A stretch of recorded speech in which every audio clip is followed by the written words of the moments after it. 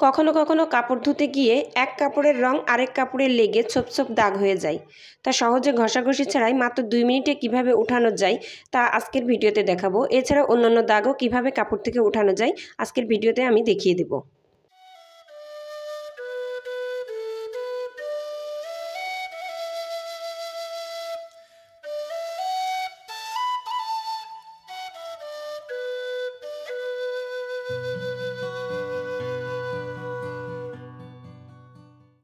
আসসালামু আলাইকুম, আমি কেয়া। মাহির গালি বল্ডে জানাই আপনাদের সবাইকে স্বাগতম। আশা করি দেশ বা দেশের বাইরে যে যেখানে বসে আমার এই ভিডিওটা দেখছেন সবাই ভালো আছেন, সুস্থ আছেন। আলহামদুলিল্লাহ, আমিও ভালো আছি। একজন মানুষের সাথে আরেকজন মানুষের বিয়ে হয়, তার সৌন্দর্য, চাকরি, ক্ষমতা ও টাকা পয়সা সহ নানা পারিপার্শ্বিক অবস্থা দেখে। কিন্তু সংসার হয় দুটি মনের, দুটো মনের সাথে। তো বিয়ের কয়েক বছর পর এই সব মোহ কিন্তু কেটে যায়। যেটা থাকে সেটা হচ্ছে শুধু একটা মন। সুতরাং মন সুন্দর তো সংসার সুন্দর।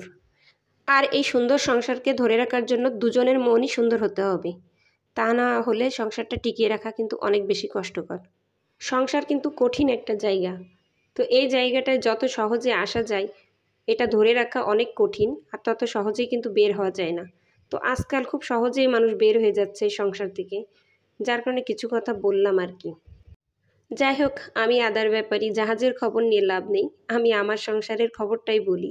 তো দেখেন, এখানে মাছগুলোকে খেতে দেওয়া হয়েছে, আর মাছগুলো কীভাবে যে খাচ্ছে, মনে হচ্ছে জীবনেও খায়নি এই প্রথম খাচ্ছে। তো মাছগুলোর খাবার দেখলে আমি অবাক হয়ে যাই যে ওরা এমনভাবে খায়, প্রতিদিন একবার করে খেতে দিই তারপরে এমনভাবে খায় মনে হয় যে কোনো দিনও খায়নি। আর এদিকে আমি রান্নাঘরে চলে আসছি, এই যে একটা ক্যাপসিকাম এনে রাখছিলাম সবুজ থেকে হলুদ হয়ে গেছে রঙটা এখন বাচ্চাদের একটু নাস্তা বানিয়ে দেব, আর পেঁপে নিয়ে আসছিল একটা, সে পেঁপেটা কেটে দিব। তো শীতকালে পেঁপে আসলে খাওয়াটা খুব একটা ভালো লাগে না, পানসে লাগে, মিষ্টি লাগে না। তারপরেও পেঁপেটা নিয়ে আসছে। তো দেখে মনে হচ্ছিল যে পেঁপেটা অনেক বেশি মিষ্টি হবে। তা খেয়ে দেখলাম যে আসলে কোনো মিষ্টি না। পানসে তো পানসেই এটা একদম স্বাদ নেই। তো যাই হোক, পেঁপেটা কাটছি আর তার মধ্যে একটা কথা বলে নিই আপনাদের। প্রতিদিনই বলি, আসলে এখন আর বলতে ভালো লাগে না। তারপরেও বলতে হয় তাই বলি যদি আমার ভিডিওর কোনো অংশ ভালো লাগে, একটা লাইক দিয়ে দেবেন আর পুরো ভিডিওটা দেখবেন। তো আমি সবসময় বলি, আমার ভিডিওতে কিন্তু ভিউজ মাসাল্লাহ ভালোই আসে, কিন্তু লাইক একদম পড়ে না। জানি না আমার আপু ভাইয়ারা আমাকে লাইক কেন দেয় না, কিংবা ভুলে যায় কেন? তো যদি ভালো লাগে আপনাদের লাইক দিয়ে দিবেন, কারণ আপনাদের একটা লাইক কিন্তু আমাদের কাছে একটা শেয়ারের কাজ করে। তো দেখা যায় যে আপনাদের লাইকের জন্য আরও কিছু মানুষের কাছে এই ভিডিওগুলো পৌঁছাবে, এতে আমরা বেশি উপকৃত হব, এই আর কি। আর এদিক দিয়ে আমি পেঁপেগুলো কেটে নিয়েছি, আর এখন আমি এই বাকি পেঁপেটা র্যাপিং পেপার দিয়ে র্যাপিং করে আর কি ফ্রিজে রেখে দেব। এতে করে ফ্রিজে রাখলেও আর কি থেতলানো একটা ভাব চলে আসে যে ওটা ওটা হবে না, সুন্দর থাকবে, এটা একদম যেভাবে আছে এভাবেই পড়ে থাকবে। তো এই যে আমি এই পেপার দিয়ে ডাবল করে মুড়ে রেখে দেবো যাতে কোনো হাওয়া না ঢুকতে পারে। আর ফ্রিজে রেখেই আমি এখন টিপসে চলে যাব। আজকের টিপসগুলো অনেক বেশি গুরুত্বপূর্ণ।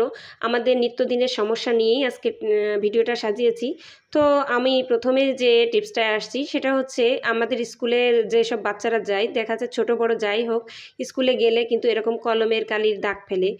আর এই দাগগুলো কিন্তু সহজে উঠতে চায় না। সাবান দিয়ে যতই ঘষাঘষি করা হোক, এটা উঠতে চায় না। আর সমস্ত শার্টে আর কি দাগটা বসে যায়, নীল নীল হয়ে যায় কিংবা কালো কালো হয়ে যায়। তো এটা সহজে কীভাবে একটুখানির মধ্যে উঠাতে পারবেন? একদম পানি ছাড়া। সেই পদ্ধতিটা আমি দেখিয়ে দেব। আশা করি আপনাদের এই টিপসটা অনেক অনেক বেশি কাজে লাগবে। তো এখানে দেখেন, আমি হ্যাক্সোসেল নিয়েছি। এটা হ্যাক্সোসেল আমি কোটায়, আলাদা কোটায় রেখেছি। আমি আসলে করোনাকালীন সময়ে অনেক অনেক হ্যাক্সোসেল নিয়ে আসতো। তো বড় ডিব্বায় রেখে দিতাম। এখনও সেটা আছে। তো এখন এই হ্যাক্সোসেলটা দিয়ে দেখেন আমি কীভাবে এই দাগটা উঠিয়ে দিই।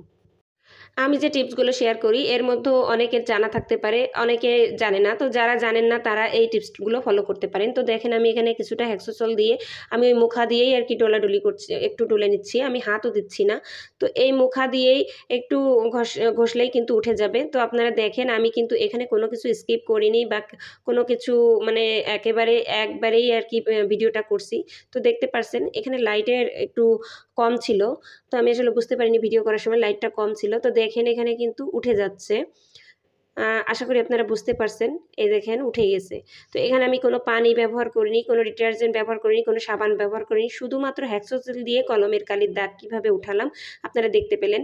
তো এরপরে একটু এই দুই হাত দিয়ে ঘষলেই কিন্তু উঠে যাবে, পানি না দিলেও। এরপরে সাবান দিয়ে ধুয়ে ফেলে আপনারা কড়া রোদ্রে দিবেন, কোনো কলমের কালির দাগ থাকবে না। তো দেখেন আমি জুম করে দেখানোর চেষ্টা করছি, একদম কোনো দাগ নেই।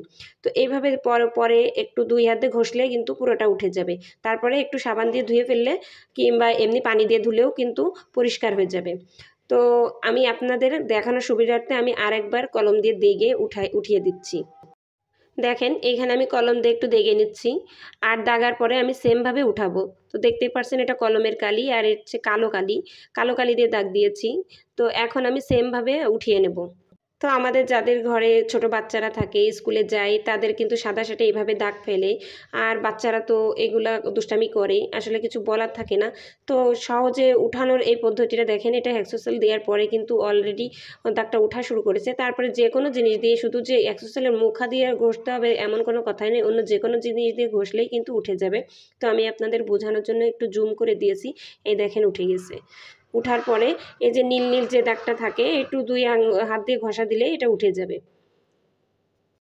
আর এরপরে পানি দিয়ে ধুয়ে কিংবা সাবান পানি দিয়ে ধোয়ার পরে কড়া রোদ্রে দিতে হবে অবশ্যই। যে কোনো দাগ উঠানোর পরে কড়া রোদ্রে দিতে হয়।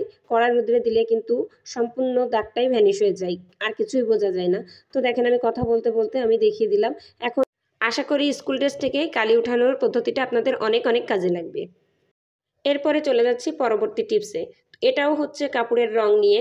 তো এই কাপড়ের রং এক কাপড়ের, আমরা কখনো কখনো কাপড় মেখে রাখলে দেখা যায় এক কাপড়ের রং আর এক কাপড়ে লেগে যায়, বিশেষ করে এক কালারের কাপড়গুলোর মধ্যে। তো দেখেন এখানে আমার দুইটা সালোয়ার দুইটা সালোয়ার একটা রঙিন কাপড়ের সাথে। আমি উঠাতে একটুখানি অসতর্কতার জন্য আমার এই সোপ সোপ দাগ হয়ে গেছে। তো এই দাগটা কিন্তু এতটাই জেদি হয় যে এই দাগ কোনোভাবে উঠে না। তো আপনারা সবাই জানেন যে এই দাগগুলো কেমন হয়, এগুলো কোনোভাবে উঠানো যায় না।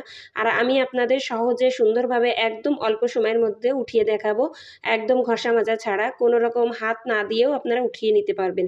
তো কীভাবে সেটা দেখতে হলে পুরাটাই দেখতে হবে। প্লিজ স্কিপ করবেন না, টেনে দেখবেন না, তাহলে বুঝতে পারবেন না, পরে, পরবর্তীতে আপনারা এটা বুঝতে পারবেন না, কাজও করতে পারবেন না। তো যাই হোক, দেখেন এখানে আমার দুইটা সালোয়ারে কিন্তু ছোপ ছোপ দাগ লেগেছে, আর এই সাদা, এই ধরনের সালোয়ারে দাগ লাগলে তো পরিষ্কার বোঝা যায়। এখানে দেখেন আমি পানি নিয়ে নিয়েছি, আর এখানে আমি ডিটারজেন্ট দিয়ে নিয়েছি। আর এখন এর সাথে আমি এখানে দিব ভিনেগার। তো দেখিয়ে দিচ্ছি এই যে ভিনেগার তো ভিনেগার তো সবাই মোটামুটি চেনেন। তো ডিটারজেন্টটা আমি কিন্তু আগেই দিয়ে নিয়েছি কারণ ডিটারজেন্টটা একটু দলা বাঁধা থাকে, তো আমি গুলিয়ে নিলাম। আর এখানে আমি হাফ কাপ মতো ভিনেগার দিয়ে এর ভিতরে দিয়ে গুলিয়ে নেব ভালো করে।